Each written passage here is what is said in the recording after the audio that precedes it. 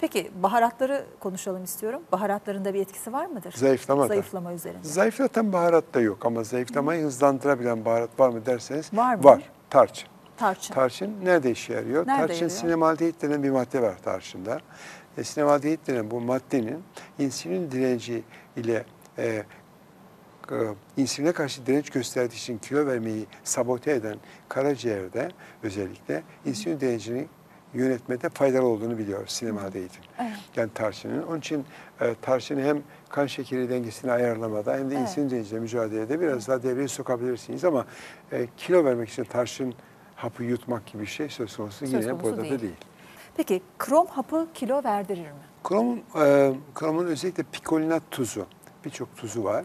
E, krom mineralinin vücudumuzda insüline benzer bir e, yardımcı aktör fonksiyonu gördüğünü biliyoruz. Ama kilo verme çabasında insülin direnci olanlarda krom hapı işe yarayabiliyor. Ama çok ciddi işe yaradığı konusunda benim de kuşkularım var.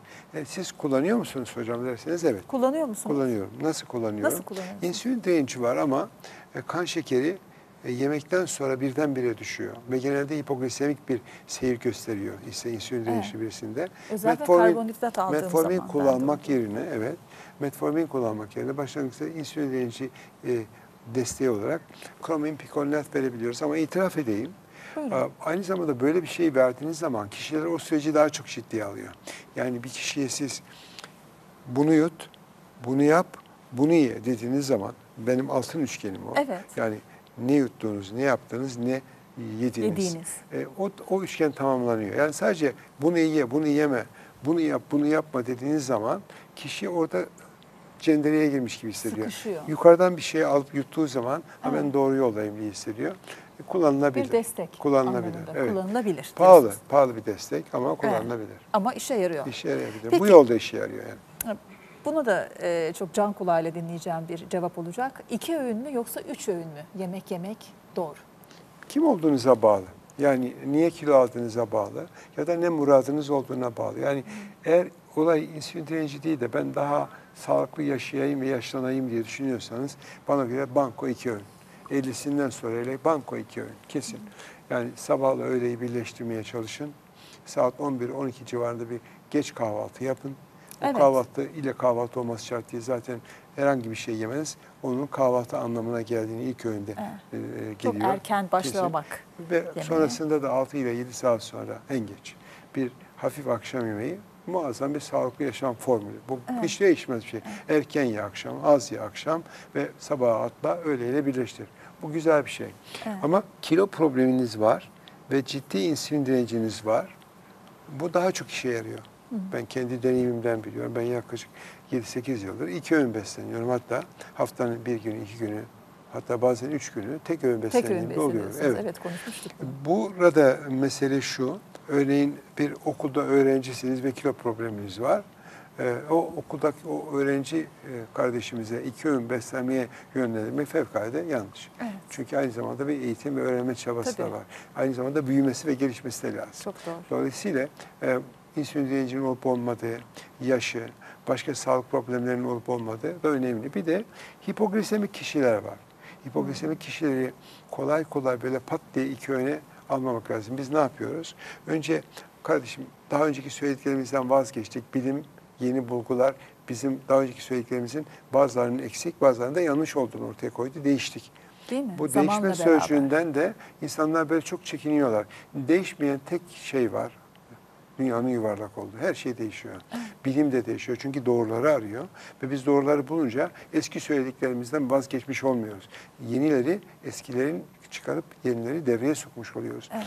Onun için artık böyle 6 öğün beslen, 7 öğün beslen zamanı bitmiştir. Çok özel bir durum olmadığı sürece insanların mutlaka öncelikle 3 öğün beslenmeleri lazım.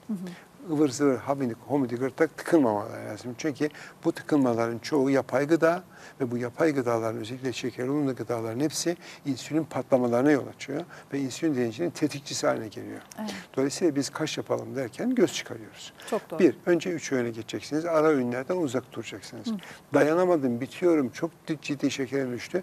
Tam gıda, 3-5 badem, bir iki kayısı, 3-4 tane, 10 tane neyse fındık, Evet. ve bir parça peynir ya da birazcık ayran veya yoğurt gibi protein yapılı veya tam yapılı şekeri onu minimize edilmiş, Minik işlenmemiş bir gıda. Ama üç ana öğün. Üç ana öğüne belli bir süre alıştırdığımız çoğu kişiyi bir süre sonra iki öğüne çekebiliyoruz.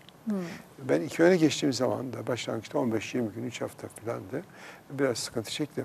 Ama sonra kuş gibi hafiflediğimi hissettim. Şimdi Evet. bir öğün yediğim gün, iki öğün yediğim günden kendimi daha da iyi hissediyorum. Ama bu bizi izleyenleri hadi bakalım hep Bir beraber tek öğüne geçin şey anlamına gelmiyor. Çok doğru. İlaç alıyorsanız, kalp hastasıysanız, Evet. böbrek probleminiz varsa, karaciğer sorunuz varsa filan bunların hepsi kişiye özel Evet. çözümler. Sakın söylediklerimizi genelleme yaparak kimse bizi izleyenler lütfen değerlendirmesinler. E, glukoman takviyesi kiloyu dengeler mi? Glikomandan e, bir e, soğan, Evet. bir adı konyak dediğimiz bir soğan, konyak veya konjak diye yazılıyor. Konjak dediğimiz bir soğan. Bildiğimiz soğan bir, bir, soğan, Evet. soğangiller grubundan. Evet. Bitkinin Bir besin. soğanı. O soğanı kurutup rendelediğiniz zaman tozu çok yüksek miktarda su çekiyor içine. Dolayısıyla şu kadarcık glikomanlar midenize girince bu kadar oluyor. Ve siz aç karnına glikomandan aldığınız zaman üzerine bir de bol su içerseniz anında midenizde o şişiyor Tokluk hissi ve tokluk hissi yapıyor. Arkasından yiyeceğiniz gıda miktarı azalıyor. Yani sizin bu iğnelerinizin yaptığı, biraz önce sorduğunuz zayıflama iğnelerinin yaptığını glikomandan da yapıyor.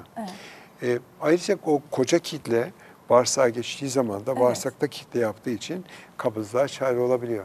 Hmm. Bağırsakta kitle yaptığı için şeker eminimi engelliyor.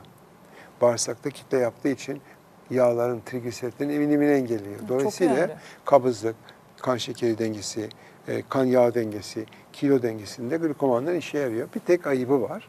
E, biraz Nedir? pahalı. Hmm. Ama glikomandan e, dan faydalanarak kilo kontrolünde başarılı olan, bunun yanında metabolik kontrol dediğimiz beraberinde şeker, trigliserit, insülin kontrolünde sağlayan birçok insan var. Yine bunun da bir doktor kontrolü ve tavsiyesiyle kullanılmasında fayda olduğunu düşünenlerden.